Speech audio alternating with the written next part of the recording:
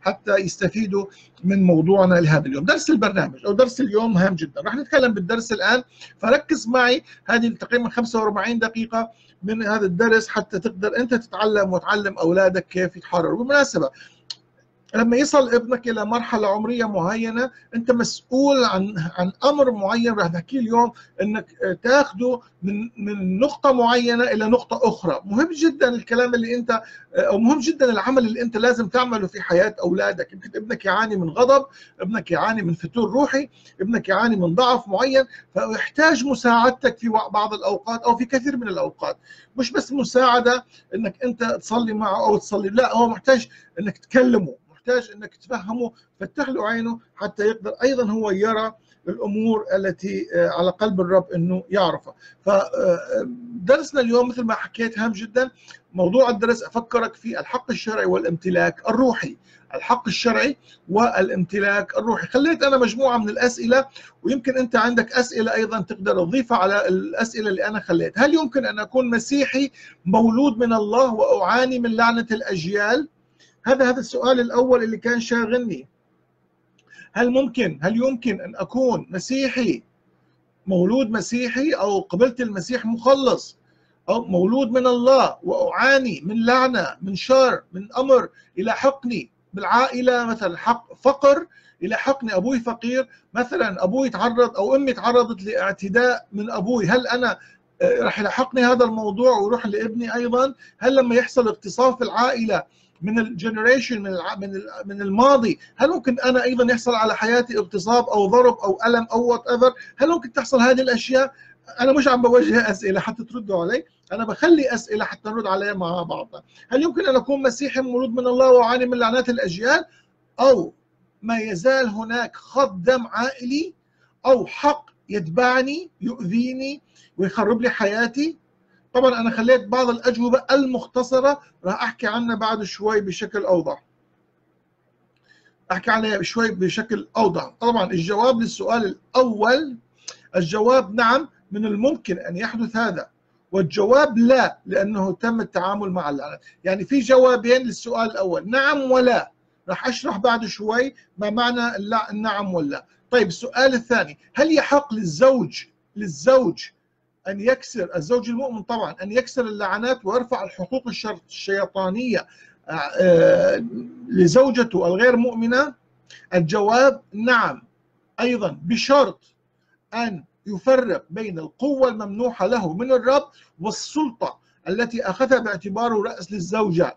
هذا جواب مختصر راح أحكيه بعد شوي بوضوح أكثر. طيب ماذا عن زوجة مسيحية لكن لا تؤمن بوجود شياطين؟ رجل يؤمن ومرأة لا تؤمن أو مرأة تؤمن ورجل لا يؤمن. كيف ممكن تتحرر هاي الزوجة التي لا تؤمن أو الزوج الذي لا يؤمن بوجود أرواح شريرة أو مسيطرة من أرواح شريرة والطرف الآخر يؤمن؟ كيف أتعامل بهذا الموضوع؟ راح نشوفه بعد شوي. هل ذهابي للعرافين لأجل إنجاب الأطفال أو لأجل كسر قيود الفقر أو لأجل الزواج؟ يعطي الحق للأرواح الشريرة بامتلاكي وتعذيبي ويعطي لها الحق بالتواجد في حياتي والسيطرة؟ الجواب نعم. أشكر الأخوة عم بيردوا مكاني الجواب نعم. وقد يمنع عنك كل شيء انت بتروح فيه للأرواح. للعرافين راح يعطيك إياه لكن بشكل روحي. يعني انت رايحة بدك تتزوجي يعطيك زوج روحي. انت بدك أمور مادية يعطيك روح مامن. انت بدك يكون عندك أطفال ممكن يعطيك طفل معاق أو يمنع عنك الأطفال أو يخلي روح شريرة اسمه مولوك في رحمك حتى ينتقل عبر الأجيال ويحصل على حياتك هذا الموضوع. فقط. طيب كيف أعرف إني تحت لعنة الأجيال؟ هل هناك مؤشرات أو علامات معينة؟ الجواب نعم هناك سبع مؤشرات لوجود لعنة في حياة الإنسان. أنا راح أقول هاي الأشياء السبعة لكن مش في هذا المقطع بس أقول بعض الأشياء. مثلا بعض العلامات الخارجية هي الأحلام المزعجة. بعض العلامات الجسدية هي عدم الارتباط. بعض العلامات الح... من حولي هو الفقر المادي. بعض العلامات الأخرى لما أكون في في صلاة معينة صلاة روحية فيها حضور الرب ألاقي نفسي تنغمر عيوني بالبكاء أو يكون عندي غضب. أو أكون تحت تأثيرات مثل المشروب والتدخين اللي تقودني للجنون. يعني أنا مش بتكلم عن مشروب وتدخين بحدود. لا لا. حتى هذا الحدود طبعا لا. لكن أنا بتكلم عن هذه الأشياء تكون بشكل مفرط في حياتي وبالتالي تقودني إلى مرحلة الهيجان والجنون والغضب وبأمور غير طبيعية. أيضا علامة أخرى هي الحوادث المتكررة مثل الإسقاط المتكرر آه، الاغتصاب المتكرر آه، ال accident الحوادث. مثلا خلال شهر صار عندك أربع خمس حوادث. خلال شهرين صار عندك ست حوادث على سيارة. أنت واقف بال traffic جاء سيارة ضربتك أو وقعت انكسرت رجلك بشكل مستمر. وكل مرة تقع في نفس المكان أو في في نفس الوجع نفس المكان ينكسر أكثر من مرة. هذا علامة على وجود أيضا لعنات على هذا الموضوع. فطبعا في أمور أخرى مثل فقدان العقل الجنون آه، الكآبة آه، كل أنواع التوحد كل هذه الأشياء الأطفال المولودين معاقين كل هذا علامة لوجود خط دم علامة لوجود خط دم. راح أحكي عنه بعد شوي بتفصيل. أنا بس عم بعطيكم مؤشرات آه، قليلة. برحب بأختي كوثر إحنا صلينا لك آه، وتوقعنا تيجي تشاركي معنا أهلا وسهلا فيك في الوسط وأهلا وسهلا في جميع الأخوة الموجودين معنا. طيب خلونا ندخل شوي أكثر في هذا الموضوع. أشرح هذه الأسئلة بقدر الإمكان احاول بقدر الإمكان أوصل هذه المعلومات آه، آه، مهمة جدا إنك أنت تعرفها. أول كل شيء أريدك تفرق أو أو بين أمرين هامة جدا. تفرق بين ما معنى كلمة لعنة وما معنى كلمة حق شرعي أو قانوني. تفرق بين اللعنة وبين الحق أو الشرع القانوني لأنه إحنا كثير نخلط ما بين اللعنة وما بين الحقوق الشرعية أو الحقوق القانونية للعدو على حياتنا. ما معنى كلمة لعنة؟ الكتاب المقدس حكى لنا كثير عن كلمة لعنة لكنه حقيقة ما أخذنا اللعنة بالتعريف الدقيق. اللعنة هي روح شريرة اسمها روح اللعنة. اللعنة هي روح. فلما أنا أجي أتعامل مع اللعنة أأمر هذا الروح أقول له باسم يسوع روح اللعنة أنا بكسرك. روح اللعنة أنا بطردك. روح اللعنة أنا بتعامل معك مباشرة. روح اللعنة هو اسمه روح الشر. روح اللعنة هو نفسه يقول لك أنا شرير. لما يطلع قدامك روح شرير يقول لك أنا الشر أو شرير أعرف انه بيتكلم عن لعنة. اسمها روح الشر أو روح الشرير. فروح اللعنة هو روح شريرة. هذا الروح منتقل ينتقل من الأجداد لسبب. انكم تفرقون بين أمرين مهمة. آدم لما أخطأ. آدم لما أخطأ. اللي حصل أنه أخذ لعنة. إذا اللعنة تيجي نتيجة عدم طاعة الرب أو عدم سماع كلمات الرب. وموجودة في تثنية 28 تقدرون تقرأوها. فرقوا بين اللعنة وبين الحق. اللعنة تيجي نتيجة لأني أنا ما كنت طائع بشكل واضح لكلمات الإله القدير إلهيم في العهد القديم ما طاعها. سبب عدم الطاعة دخل شيء اسمه لعنة. آدم أخطأ بعدم الطاعة لوصية الرب دخلت لعنة فقط. اكتبوا على كلامي. لعنة فقط. لم يدخل حق شرعي أو قانوني على آدم ولا على حواء. ما دخل. اللي دخل هو روح شرير بسبب عدم الطاعة. عندما أخطأ آدم بعدم الطاعة لوصية الرب دخلت لعنة فقط ولم يدخل حق شرعي أو قانوني على آدم. لذلك كل من أخطأ من الناس على مثال آدم تدخل لعنة. لذلك الجميع تحت لعنة لأن الكتاب قال الجميع أخطأوا على مثال آدم.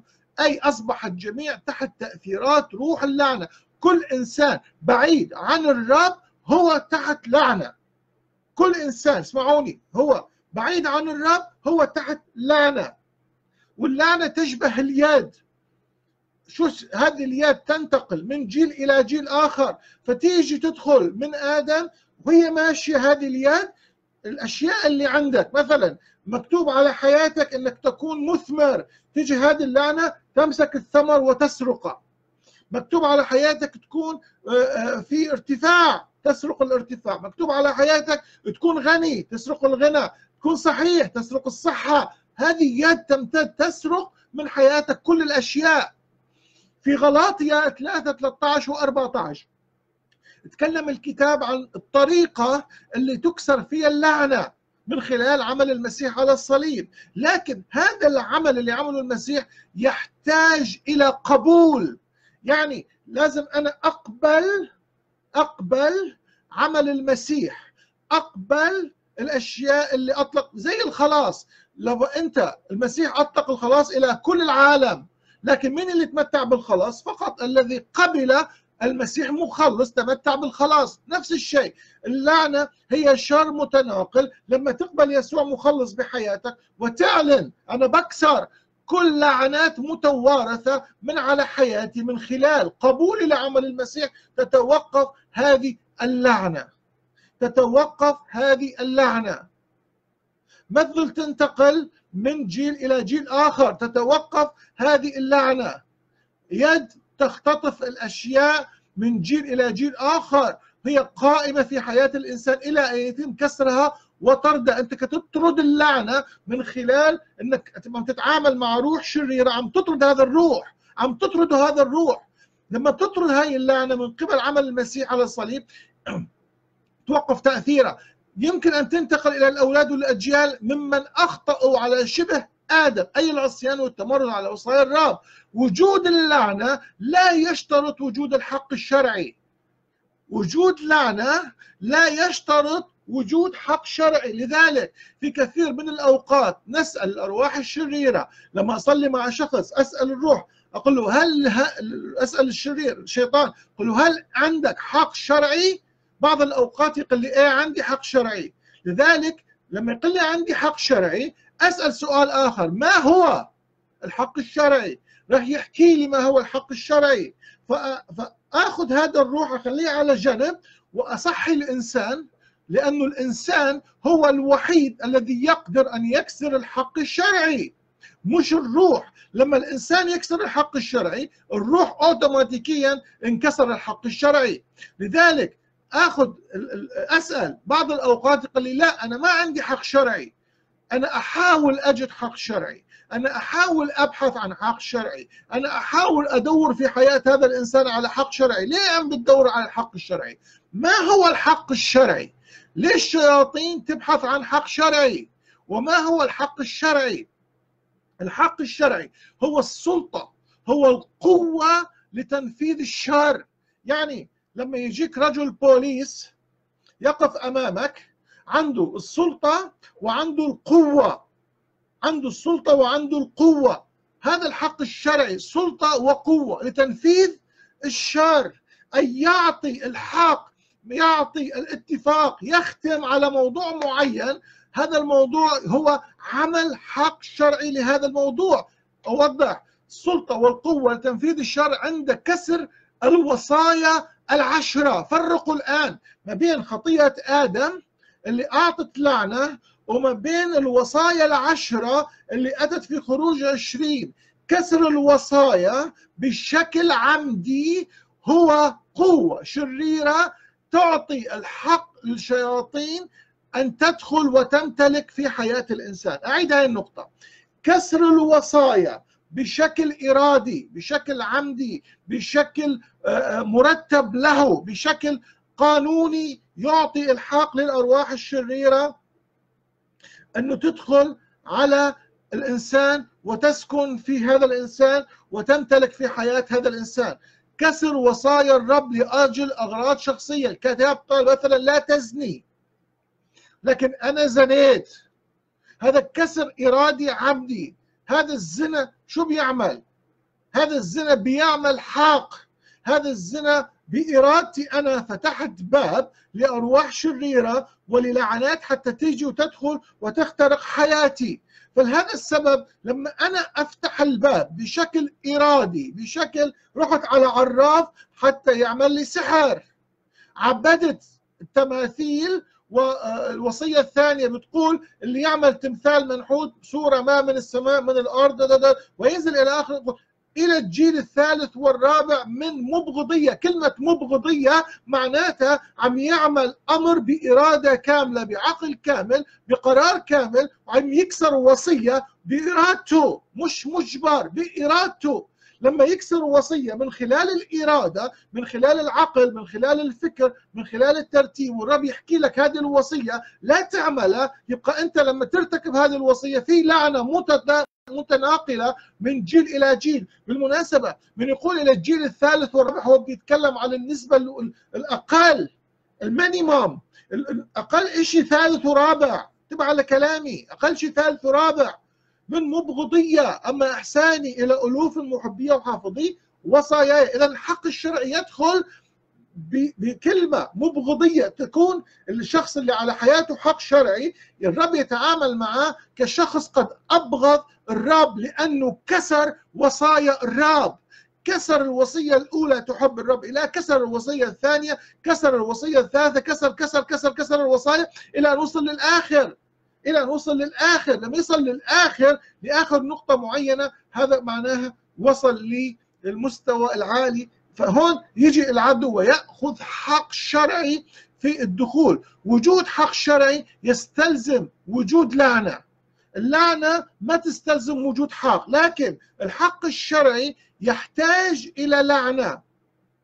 فلا يوجد حق شرعي حق قانوني بدون لعنة. يعني لما تيجي تتعامل مع شخص وقال لك الروح الشرير أنا عندي حق شرعي. مباشرة لازم تفهم أنه هذا الحق الشرعي يتبعه لعنة اسمه روح اللعنة ويتبعه أرواح شريرة ويتبعه ذاكرة شريرة أيضا ويتبعه مكان حتى يكون يجلس فيه ويمتلك ويسيطر ويتعامل معه. مثل ما واحد عنده عقد سكن عنده عقد ملكية بيت.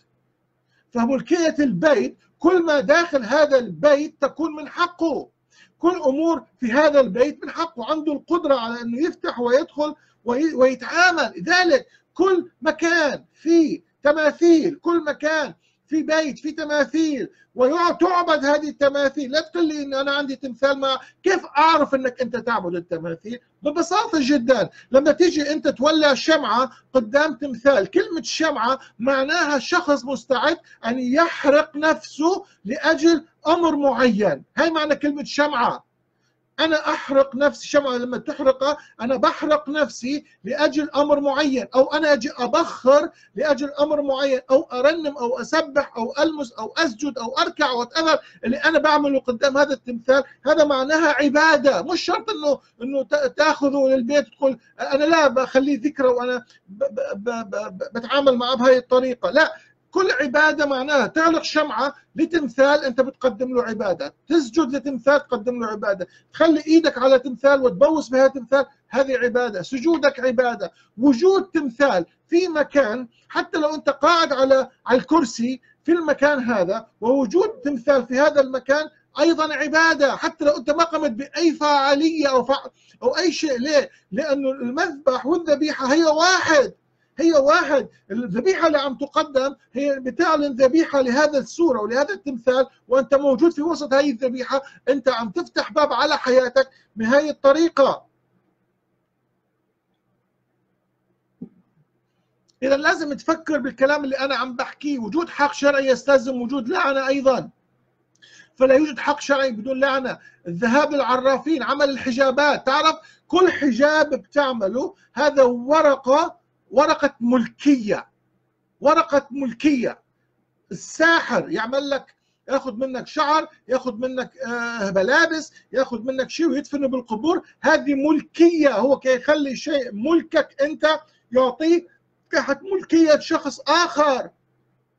شخص لما لما الحق الشرعي شخص يبحث عن القوة شخص يبحث عن الشهرة شخص يبحث يبحث عن الغنى من خلال تقديم ذبائح دموية كل ذبيحة دموية كل خروف تذبحه لأجل قوة أو شهرة أو غنى أو تروح على سحر يقول لك اسمع أعمل لك ذبيحة هذه الذبيحة كل دم هو حق شرعي الماسونية هي حق شرعي لو في. في ناس في عائلتك كانوا ينتموا للماسونية. حتى لو حكى لك أنا أنا أنا أنا ما ما ما خضت معاهم أنا ما عملت عهود أنا مجرد أطلق عليه كلمة ماسوني معناها عنده عهد عنده عقد عنده التزام مع روح البعل. فالبعل مباشرة يقول لك هذا إلي. الإسقاط المتعمد للأطفال بدون سبب صحي. هذا حق شرعي. الإسقاط لما يكون عندي إجهاض. يكون عندي إجهاض. هذا حق شرعي. كل مرة تسلم بيها أمرك بإيد العدو أنت عم تدخل في حقوق شرعية. أنت عم بتنفذ وصايا إبليس. اسمعوني ما هي وصايا إبليس؟ هي عكس الوصايا العشرة بالضبط. فكتاب يقول لك لا تزني. إبليس يقول لك إزني. فأنت كسرت الوصية دخلت تحت فقرة اسمها إزني. أنت دخلت تحت فقرة الحق الشرعي. لا تسرق. أنت تسرق. أكرم أباك وأمك. أنت تبغض أباك وأمك. بغضة كراهية عبادة وثنية. كل شيء يدخل تحت حق شرعي. عكس الوصايا العشرة. كل شيء يشيل من عنده كلمة لا. ست ست وصايا الأخيرة. شيل من عندك كلمة لا. راح تشوف نفسك دخلت تحت حق شرعي للعدو. وبهي الطريقة العدو راح ي... الانتحار لو شخص انتحر لو شخص انتحر مش مهم الظرف اللي انتحر لأجله بس انتحر قتل نفسه قوس نفسه. حق شرعي. الانتقام. تعرف لما لما يكون عندي شخص يريد ينتقم بسبب أمر سقط على حياته ظلم. مثلا أعطيك أمثال من من خدمتي مهمة جدا لازم تفكر بها مثلا أم جدة كبيرة اولادها واحفادها ما اعتنوا فيها. وهذه الأم وهذه الجدة بدأت تتألم بسبب هذا الموضوع ولعنت الأولاد ولعنت الأحفاد. وتريد تنتقم لأنه أهملوها بعد ما قضت طول حياتها تخدم. هاي كسر للوصيه الرابعة. إذا كسر دخلت لعنة ودخل حق قانوني بسبب كلمات أطلقت. الشخص اللي يقوم بعمليات قتل قتل متعمد أيضا تدخل حق شرعي. تدخل وتجي لعنة منتقلة عبر الأجيال ويدخل حق شرعي وامتلاك في حياة الإنسان. ويصعب بالمناسبة صعب جدا إنك أنت تحرر إنسان عنده أو ساقط تحت تأثيرات الحق الشرعي. صعب إنك تحرره من الأرواح الشريرة إلا بعد معرفة الحق والتعامل معه وكسر اللعنة وطرد الشياطين. صعوبة الموضوع لأنه الشيطان أصبح لديه حق الملكية. تعرف لازم تفرق بين سكنة وحق ملكية. بعض الأوقات لما تيجي هيك تعريفات بعض الأخوة يعرفون يقول لك امتلاك لمسة آه، تأثير خارجي لا حبيبي هي شغلتين. يا أما العدو قد امتلكك امتلاك كامل وهذا يعطيه حق شرعي يا أما العدو دخل في مجالات معينة وهي معناتها لعنة. ما في شيء اسمه برا وجوا وداخل و... لا هي مكانتين يا أما يدخل يمتلكك نفس وروح وجسد وهذا حق شرعي. يا أما يدخل ياخذ جزء من حياتك وهذا معناته إنه هو السيطرة على سلوكيات معينة في حياتك. تلاقي نفسك تصلي تصلي تصلي وترجع على نفس الخطيئة. صلي صلي صلي وتتوب وتتبكت لكن ترجع على نفس الخطيئة. أو أنت عايش برا. تلاقي نفسك غضب سكر تدخين عيون شريرة شهوة أذية للعالم آه، ترافقها أرواح خوف. تلاقي كل شيء موجود. ليه؟ بسبب هذا الحق حق الملكية. امتلكك أخذ عندك ملكية كاملة. لازم تفكر بهذه الطريقة لازم أقف وأكسر هذه الحقوق من على حياتي. شهوة زنا خيانة زوجية ضرب اعتداء كل هاي الأشياء لو تمت بإرادة حرة وتمت بترتيب معين هذه كلها تعطي حقوق شرعية للشياطين للدخول على حد. إذا لازم أفرق. اللعنة هو روح شريرة. هذا الروح يجي نتيجة تبعيتنا لآدم. تبعيتنا لآدم. آدم الأول أخطأ المسيح صحح ما أخطأ آدم الأول. إذا المسيح استرد لنا هذه الأمور من آدم الأول. آدم لما أخطأ دخلت عليه لعنات. لكن الحق يجي نتيجة كسر الوصايا العمدية بشكل عمدي. يعني مش إنه إنسان يتصرف بشكل غير عمدي دخل عليه حق قانوني. لا كسر بشكل عمدي.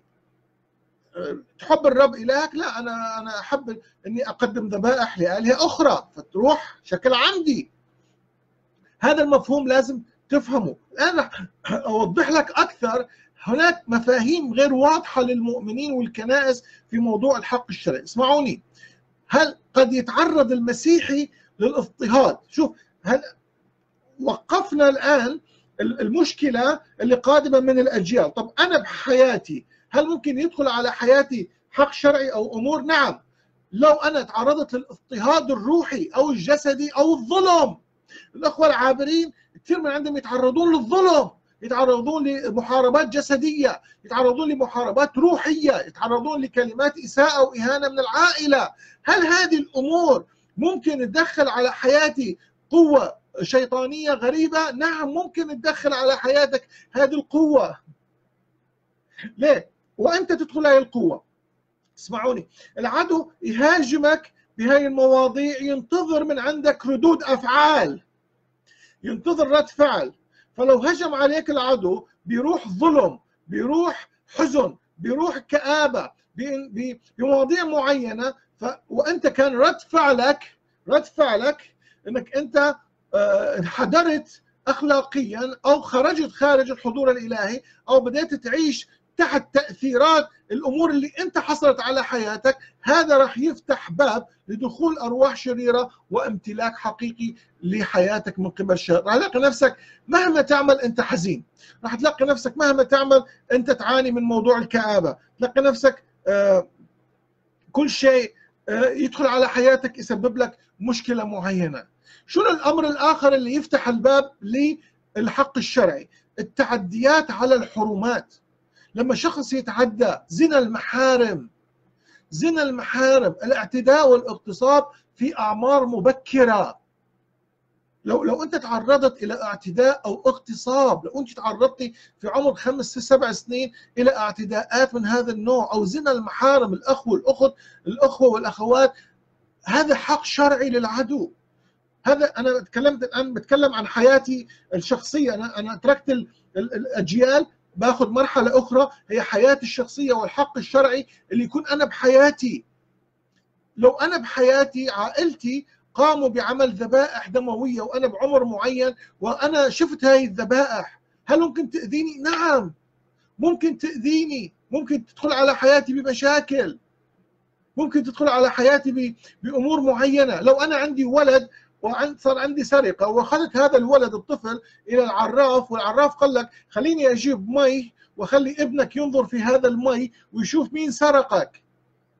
مباشرة ابنك يدخل في أرواح شريرة لأن ابنك ما يقدر يشوف إلا من خلال عيون العدو إلا من خلال عيون أرواح شريرة.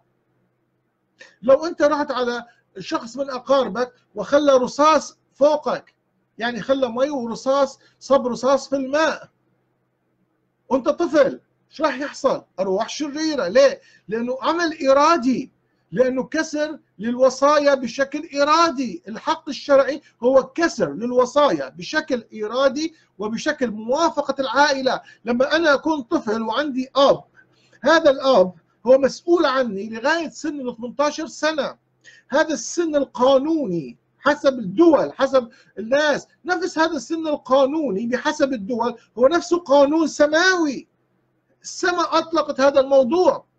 فاعتمد. إذا أنا لو أخذت ابني أنا عم بفتح على ابني وعلى نسلي وعلى أولادي هذا الحق الشرعي وبالتالي راح يكون هذا الولد واقع تحت لعنه وواقع تحت حق شرعي. بسبب هذا الولد ممكن يتعرض إلى أمراض جسدية ونفسية وروحية وإعاقة وبالتالي أنا أولد أولاد معاقين. أولد أولاد عندهم توحد. أولد أولاد عندهم مشاكل من هذا النوع. لازم انتبه على هذه الأمور. الموضوع مش بس هلك شعبي سبي شعبي. المؤمنين عم ينسبوا. ليه عم ينسبي؟ مؤمن حلو يحب الرب لكن يجي بحياته واحد من أولاده يحصل عنده اعاقه طب كيف أتصرف؟ هل هذا طبيعي؟ لا مش طبيعي، هل اقبله كامر طبيعي؟ لا ما اقبله شيء طبيعي، هل لما أروح للدكتور وما يعطيني علاج هذا موضوع طبيعي؟ لا مش موضوع طبيعي، اذا هو موضوع روحي، لازم أبحث، لازم أفكر لا تأخذوا الكتاب المقدس سطحيا. لا تأخذوه بشكل سطحي. لما تقرأ معين أنا لما أقرأ أخذ ساعة أجلس مع الرب على على شاهد واحد أقول يا رب فهمني هذا الشاهد. نور لي عيني اريد أعرف يا رب. اليوم جلست مع الرب قلت له يا رب أعطي كلمة تكون فيها نفع للأخوة. قال لي قال لي أحكي عن اللعنة والحق. قلت له يا رب شو شو الفرق؟ أنا ما كنت أعرف الفرق. علمني الرب الفرق. قال لي اللعنة روح. الحق هو عمل إرادي. أنا عم بفتح حق على نفسي. مثل ما أنت تبيع سيارتك وتمضي على العقد. مثل ما أنت تبيع بيتك وتمضي على العقد.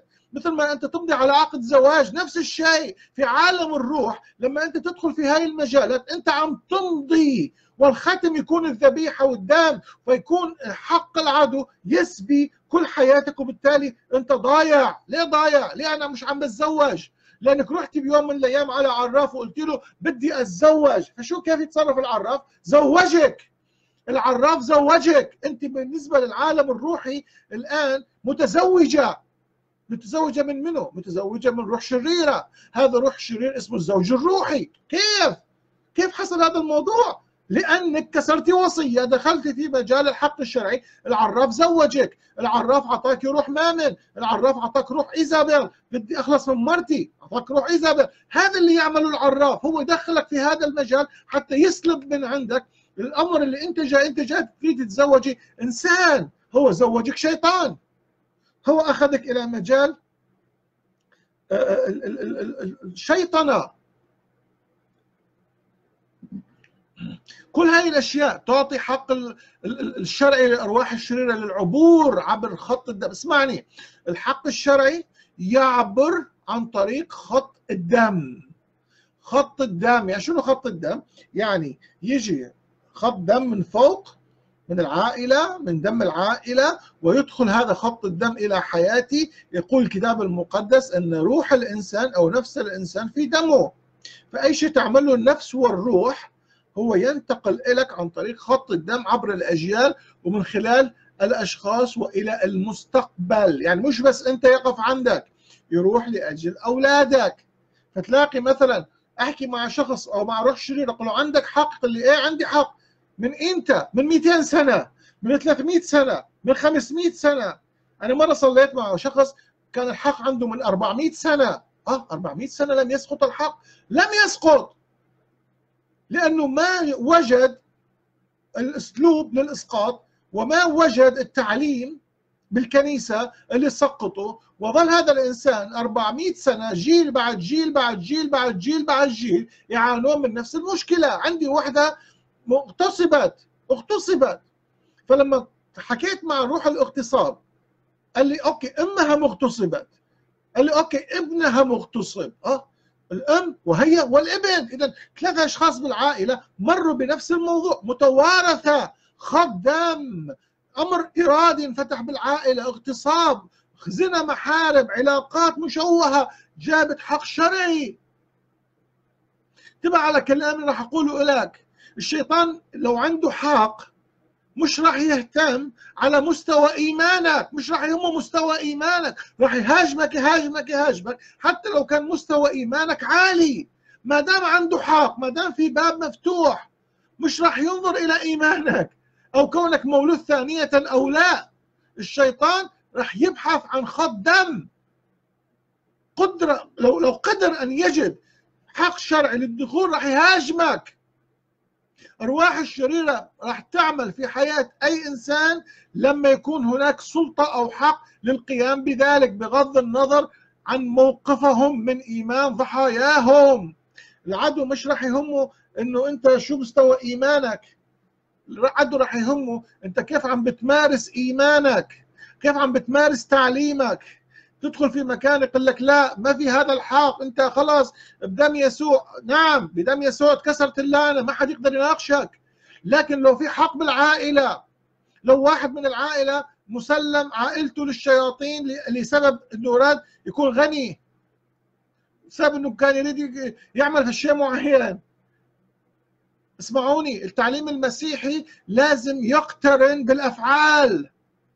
يعني لما أقول أنا إنه أنا تحت بركة الرب ولكن أنا حياتي مش تحت البركة. يبقى ما يكفي إني أنا أردد كلام ما يحصل بحياتي. لازم يحصل اللي أنا أنطق فيه. حتى أقول أنا تحت بركة لازم أكون تحت بركة حقيقية. لكن أنا أقول أنا تحت بركة وأنا مريض وأنا بعاني وأنا فقير وأنا مضروب وأنا حزن وأولادي امراض واغتصابات ومشاكل. وأقول أنا تحت بركة. أي بركة هذه اللي أنت تحتها؟ إذا لازم أتجنب هذا التعليم اللي قال لي لا أنت تحت بركة لكنك هذه البركة محدودة أو هل بركة يسوع محدودة؟ أم بغنى أو بفاير؟ الإنسان لما يكون تحت حق شرعي الروح والنفس والجسد وبعض الأوقات هم الثلاثة مع بعض يضربون. ليه؟ لأنه هي الأرواح تضرب الجانب العاطفي تضرب الزواج. تضرب التزامات الزوج مع زوجته تضرب المشاعر تضرب المحبة. تضرب تخلي الزوجة في نظر الزوجة كأنه قبيحة يروح يزني يروح يدور وهي العكس فيضرب الجانب العاطفي. الحق يضرب الجانب العاطفي. الحق يضرب الجانب الجسدي بأمراض حوادث متكررة فقر ضعف. يضرب الجانب الروحي. الرب يسوع قال في سفر الرؤيا قال لك اسم إنك حي وانت ميت. ضرب الخدمة ضرب الدعوة. وبعض الأوقات يضرب كل الموضوع. اذا اللعنة هي الشر من الماضي. ما تعامل معها الحق القانوني هو شر أيضا من الماضي لكن أمر إرادي. يحتاج انه توقفه يحتاج إنك مش بس تكسره. تكسره تطرد اللعنة تكسر اللعنة تطرد الأرواح الشريرة تنظف البيت اللي سكن فيه حتى يجي الروح القدس يسكن في هذا البيت. تخيل أنت شخص عنده لعنة هو على حياته حق شرعي وفي شياطين وفي أمور وساكنة في جزء معين. كيف راح يجي الروح القدس ويسكن؟ تعرف بعض الأوقات أحكي مع رجال يقول لي أشوف زوجتي كانه كأنه روح موت أشوفها سوداء. ليش تشوفها سوداء؟ ما كنت قبل الزواج تشوفها ماكو أحلى منها وهي تقول لي أنا زوجي ما أقدر أجي أجي جنبه لمدة أيام وأشهر و... شو اللي حصل؟ ما كانت العلاقة جيدة شو اللي حصل؟ وين دخلتم؟ أي مكان؟ شو الموضوع اللي دخل على حياة هذه الأسرة اللي خلى هاي الزوج والزوجة ما يقدر واحد يشوف بوش الثاني مع انهم تزوجوا 25 سنة أو 20 سنة أو 10 سنين أو عندي ناس اتطلقت بعد زواج 25 سنة وين كنت؟ وين كنتي؟ لا لا لا ما أقدر أشوف هذا وين كنت 25 سنة؟ شو صار؟ شو تدخل؟ ومباشر بعد ما تطلقوا تزوجوا آه، مع ناس آخرين وطلقوا وزوجوا مع شو عم يحصل؟ ليه الطلاق الطلاق الطلاق الطلاق الطلاق المستمر؟ شو عم يحصل؟ شو دخل على حياتك حتى تك... حتى عندي ناس أشوف تزوج خمس ست مرات ومستعد يتزوج عشر مرات هذا التكرار هو حق شرعي مصاحب للعنة هذا التكرار يستغله إبليس يستغله العدو. هذا هذا الموضوع هام جدا لأنه هذا الموضوع يفتح باب لأرواح شريرة. أيضا لعنات الكلام لما يحصل إطلاق كلام سلبي أو عمل أسحار من خلال روح الانتقام حكيت عنها قبل شوي. هاي الأمور لازم تتوقف عنده وتبتدي تدرس هل أنا فعلا في على حياتي هاي الأمور؟ طب كيف أتعامل مع هذه الأمور؟ كيف كيف أوقف تأثيرات هاي الاشياء أو, أو خليني قبل ما أتعامل مع هاي الأمور شنو الأشياء اللي من الماضي ممكن تضرني؟ هي هي هي يا ريتك تسجل هذه النقط اللي راح أحكيها الآن لانها هامة جدا. شنو الأشياء من الماضي ممكن تضرني؟ اللي حصلت بالماضي. اسمعوني، أول أمر الخطايا التي يفعلونها الآباء والأمهات والأجداد بس مش الخطايا العادية هي الخطايا الكبيرة. لو حصل خطايا كبيرة بالعائلة حصل خطايا كبيرة بالعائلة. هذه الخطايا الكبيرة بالعائلة تكون سبب سبب يعني الآن أنا راح أوقف شوي عند هاي النقطة. شوف عائلتك الأب والأم الجد والجدة وارجع شوية. شنو الأشياء المشتركة اللي انت تشوفها بهاي العائلة. مثلا تشوف الأب والجد والجده يتعاطون الخمور. مع الخمور في روح غضب. اذا لازم تعرف حتى في خمور وروح غضب لازم في باب فتح بالعائلة دخل هذه الموضوعين وعن طريق الدم رحلت من جيل إلى جيل آخر. مثلا شوف البنت عندها أسقاط الأم عندها إسقاط الجدة عندها إسقاط للأطفال الرحم ما يحتوي أطفال. كل ما تحبل تسقط أو كل ما تحبل تروح تسقط. اذا في لعنة دخلت عبر الأجيال. شخص ابتدى الإسقاط في العائلة شخص ابتدى الموضوع في العائلة. أم جد جدة لما ابتدى هذا الموضوع معناته دخل حق قانوني وتلاقي لازم يحصل موت في البيت. النقطة الثانية لو في بالعائلة شخص ساقط أخلاقيا يعني شخص أقولها بالعربي يدور أمور مش يدور نسوان أو يدور زنا أو يدور وتلاقي ابن هذا الشخص يطلع مثله وابنه ويطلع بالعائلة شخص من هذا النوع. شخص يتصرف بعدم أخلاق ما عنده ما عنده أخلاق. هل هذا باب للعنة؟ نعم هذا باب للعنة. تدخل العائلة.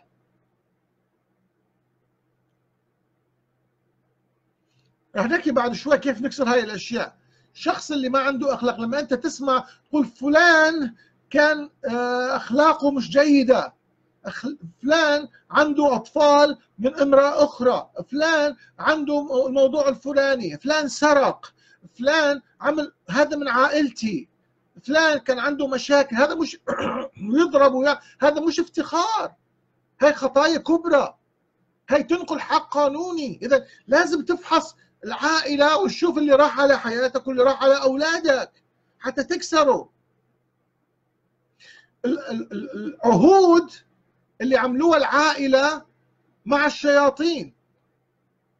يعني كل مرة لو انت سمعت أمك جدتك راحت للعراف أو هي تعمل اسحار أو أو, أو هي عملت امور معينة من هذا النوع أو عملوا ذبائح أو بخروا أو اخذوا آه، ملابس راحوا للعرافين أو كانوا يتعر أو كانوا دائما رجلهم عند العرافين والعرافين عندكم في البيت والسحرة والفنجان والكف و و و وكل هاي الأشياء تلاقيها أو نذور أولادهم للقديسين.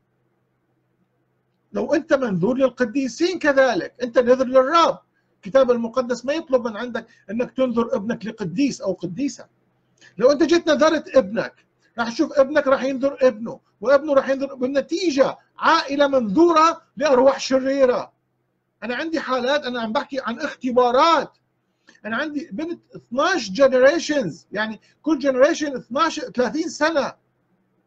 الجد حتى ياخذ قوة قدم ذبيحة وهي الذبيحة قدم فيها كل بنات العائلة حتى يأخذ قوة يتغلب في حرب معينة. كل وحدة أصليها من أصلي من هاي العائلة يطلع عندها أرواح شريرة. إلى أن عرفت أنه هذا الشخص الجد من 12 generations يعني يعني من من من 600 سنة. مقدم العائلة. لازم أفكر بهذا الموضوع. النقطة الرابعة إذا حصل تخلي وعدم مسؤولية أحد الوالدين اتجاه الأطفال روحيا إهمال أسري. واحد بالبيت شوف رجال مشغل لي أفلام رعب أو أفلام خليعة أو يشوف مناظر خليعة. وما مهتم أصلا بالجانب الروحي للولد.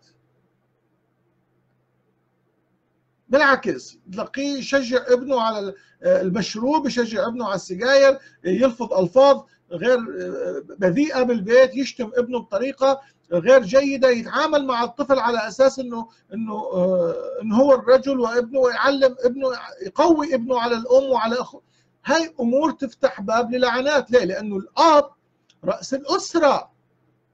فيحتاج يعلم ابنه هذا الموضوع. تعرف لما ابنك لما أنا عندي طفل راح يصل إلى عمر 18 سنة والعمر القانوني. تعرف كيف لازم تتصرف؟ لازم تمسك ابنك وتتكلم معاه وتقول له اسمع في شيء اسمه لعنة متوارثة في شيء اسمه حق قانوني وشرعي. اسمع أنا كسرته لكن أنت تحتاج راح تنتقل إلى سن البلوغ فتحتاج أنت أيضا تكسره. فتمسك ابنك تعلمه كيف يكسر الحق القانوني والشرعي وتعلم ابنك كلمة الله وتعلم ابنك كيف يصلي ويتحرر لما يصل إلى سن ال 18 سنة. مو تجيب له كيكة وتقول آه جيب ابني صار 18 سنة أنا فرحان بهذا الابن صار عمره 18 سنة. 18 سنة معناته ابنك أصبح عنده الحق إنه يكسر. لما الكتاب يقول لك سن البلوغ يمكن تقول لي أقل من 18 أو أكثر. لا اسمعني 18 سنة. لل 18 سنة أنت تقدر تكسر أي لعنة من على حياة ابنك. لل 18 سنة أنت مخول من قبل الرب بحسب القانون الإلهي إنك تكسر أي لعنة وأي حق شرعي على حياة ابنك. أنت مخول إنك تكسر كراسه الأسرة. لو زوجتك غير غير ملتزمة آه، بالرب وأنت تزوجت هاي المرأة وعلى حياتها لعنات حتى أولادك ليكونوا على حياتهم لعنات. أنت كزوج كرأس للأسرة كأب للعائلة لو أنت ما مارست سلطانك وكسرت الحق القانوني والشرعي راح يجي غيرك ويمتلك على بيتك وعلى أسرتك. اذا عندك مسؤولية. لا تتخلى عن هذه المسؤولية. عندي ولد. أنا رجل مؤمن. عندي ولد وابني عم بيعاني. أجي على ال ancestors على العائلة على الماضي. أكسر اللعنة وأكسر الحق. مش بس اللعنة. أقف. يا رب أنا بكسر اللعنات. okay ما في حق ما في سحر. ما في تكريس. ما في أمور عم تتخلى بهدومك. ما في أشياء عم تعمل بذبائح ضدك. ما عم تعطي حقوقك حقوق ضدك. ما دام ابني أو بنتي تحت سن 18 سنة أنا عندي الحق اللي لازم أمارسه صح. أكسر. اسمعوني بعد شوي رح نكسر. هي نفسك. أكسر. اللعنة كروح روح اللعنة المتناقلة وأكسر أيضا الحق الشرعي. وأطرد روح المرض وأطرد أي أرواح دخلت لهذا الموضوع وأملأ المكان بالروح القدس. أربع خطوات لازم تتعمل بتدقيق. إذا أنت اليوم عم بتعاني ابنك عم بيعاني زوجتك عم بتعاني زوجتك لو فرضا زوجتي أنا زوجة بعيدة. كتاب قال المرأة تتقدس في الرجل المؤمن والرجل والرجل يتقدس في المرأة المؤمنة حتى لا يكونوا أولادكم نجسين. ما معنى كلمة نجسين؟ واحد كورنثوس سبعة. ليش أولادي يجوا نجسين؟ شنو هدف كتابة هذه الآية؟ اللعنة. اللعنة والحق القانوني. هو هذا هذا هدف كتابة هذه الآية. مش حتى يقول لي الكتاب إذا عندي زوج غير مؤمن أفارق أطلق ولا ما أطلق. لا مش هذا الهدف. الهدف ده يقول لي أنت أنت مرتبط في زوجة هاي الزوجة ما تؤمن ما تؤمن. كيف تتصرف؟ أنا كرجل عندي هذا الحق. أنا كرجل رأسي المسيح. مش كلام فعل أقف بإيمان بقوة بسلطان. أمارس حقي كقوة سلطان عندي وقوة آه، آه، حق مع الرب أقف وأكسر. لا زوجتي ما تتغير خليني أفارق زوجتي وأروح أدور لي على وحدة مؤمنة. ليه عم يحصل طلاقات بين المؤمنين والخدام والقسوس ليه؟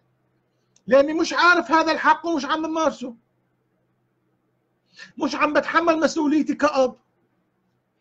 أجي للبيت تعبان بدي آكل وأنام وخلص ما عندي مشكلة بالباقي. نقطة خمسة العهد. العهد كوفننت أي عهد مع إبليس هو حق شرعي للعدو في الامتلاك على حياته. تلاقي هاي العائلة يمارسون السحر عائلة كاملة تروح مثلا لمكان معين يقول لك فلان يعزم. الناس اللي أصلا من الموصل عارفين الناس اللي من محافظة نينوى؟ شمال العراق؟ أو بعض المحافظات الأخرى يقول لك هذول الناس يعزمون عندهم مسحة تعزيم سامعين بهذا الكلام؟ معزم هو والابن والجاد والجدة و... وعندك عائلة من المعزمين. واو! عائلة من المعزمين. هاي العائلة من المعزمين عند لعنه انتبه لما تروح أنت وسط هذه العائلة وهذا التعزيم انت عم تدخل ضمن عهود شيطانية. تعطي الحق يعزم ياخذ شوية مي ويرميها على وشك. يقول لك أعطيني مصاري. ويرمي على وشك. وأنت فرحان وكأنه أنت عامل عامل نشاط روحي مؤمن. قال لي لا لا هذا تعزيم. هذول عندهم تسلومة. سموه تسلومة. شو كلمة تسلومة. شو تسلومة؟ يعني تسلم من الآباء وتسلم من الأجداد أمر. شو اللي سلموا؟ سلم التعزيم. أو بنت عندها تفتح فنجان وامها تفتح فنجان وجدتها تفتح فنجان أو يفتحوا كيف تسلموا. كانوا كانوا عم بيسلمك أمر معين. عم بيسلمك لعنة. نقطة ستة. الأهل العراق يعرفون هذا الكلام. طيب الصدمة الناتجة عن سوء المعاملة.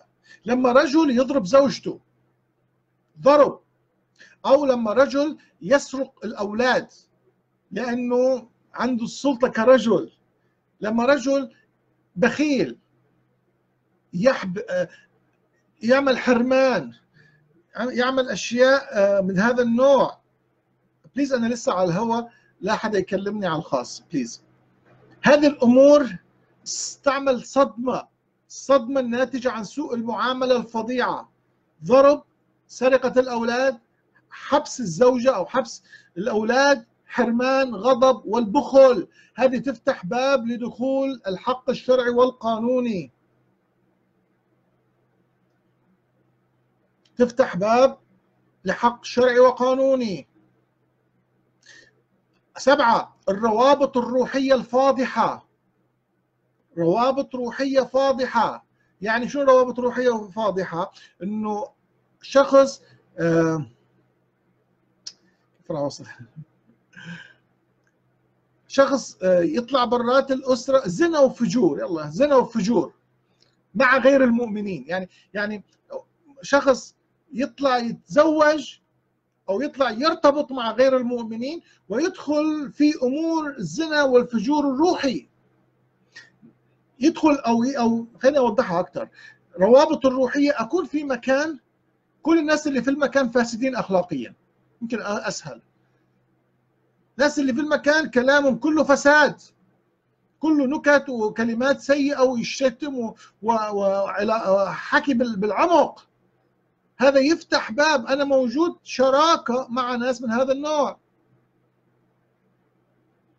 لازم أقف وأفكر. ما دام في كتاب مقدس ما دام في حق في الكتاب المقدس اذا هذا الحق لازم أمارسه. لازم هذا الحق أنا أعيشه على مستوى عالي. لازم أفرق ما بين القوة والقدرة.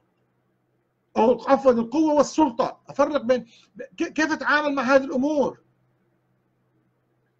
لازم لازم أفكر بهذه الطريقة.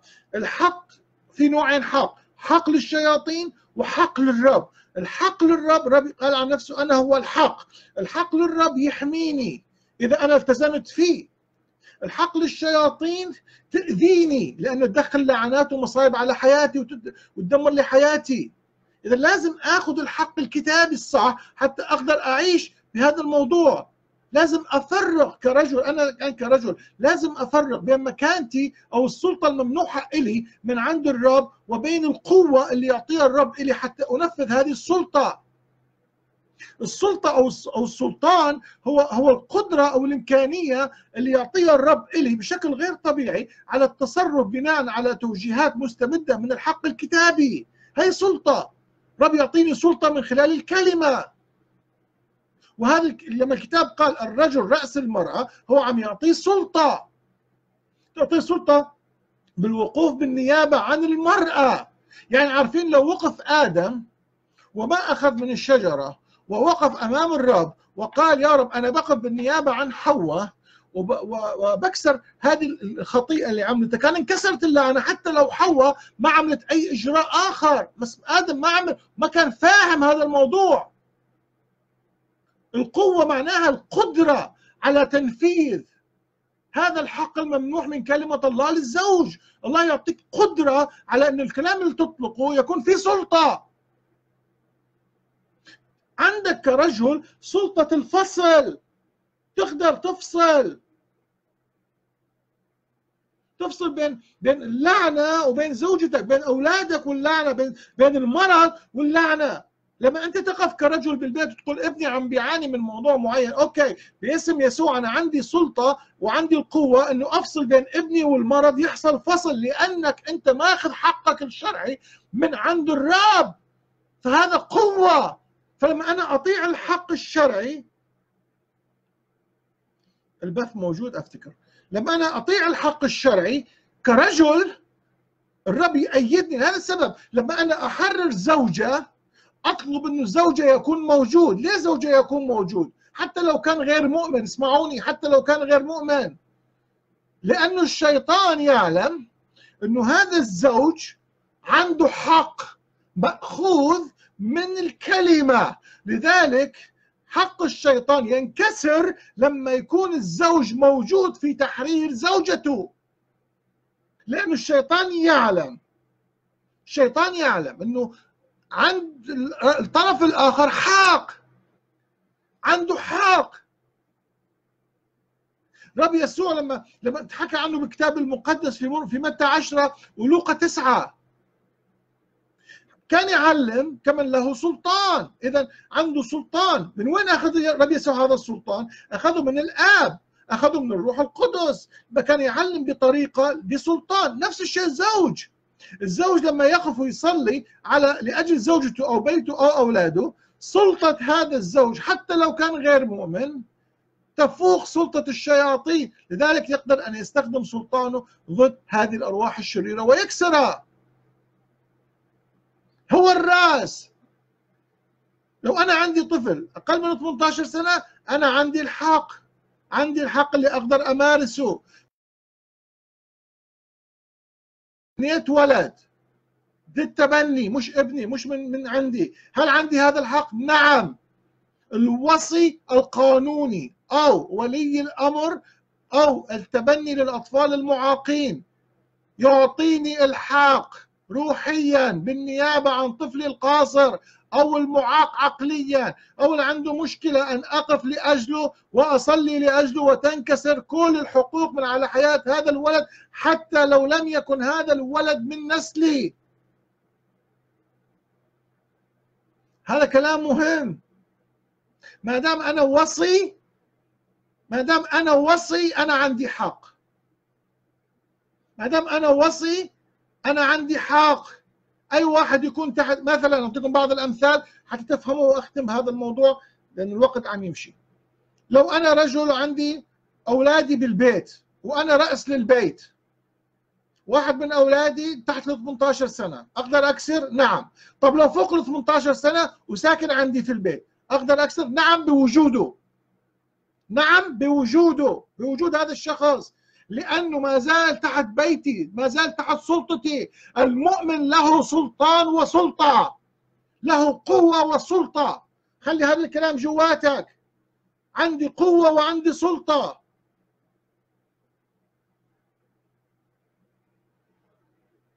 أنا اليوم عندي سلطة ببيتي بنتي دخلت سكنت معي. بنتي عمرها 20 سنة 21 سنة. بنتي عندها مشكلة. بنتي محتاجة تحرير.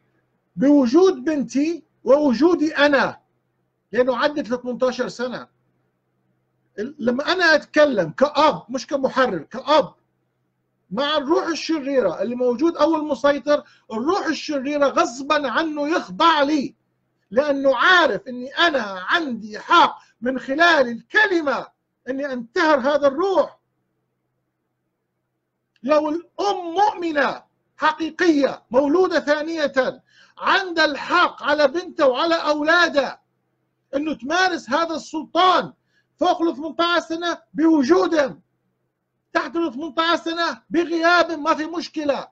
بس أنا عندي هذا الحق.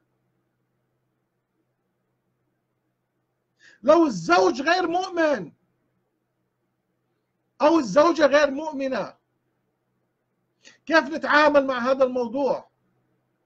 المؤمن يؤثر بالحق اللي عنده على غير المؤمن.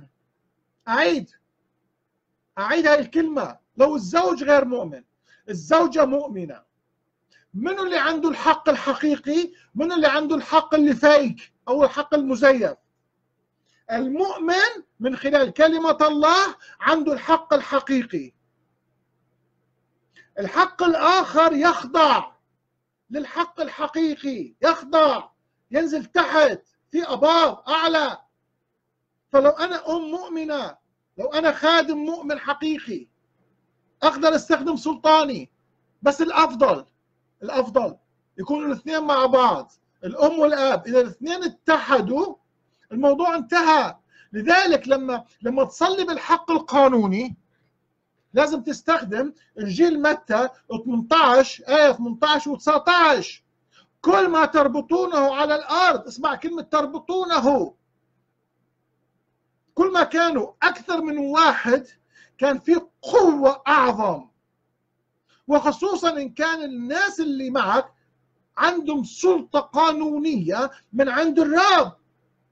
لما يكون الإنسان اللي معي عنده سلطة روحية سلطة قانونية راح أقدر أنا أكسر حتى لو كان الأب غير مؤمن لكنه وقف معي وأيدني بهذا الموضوع راح يحصل كسر.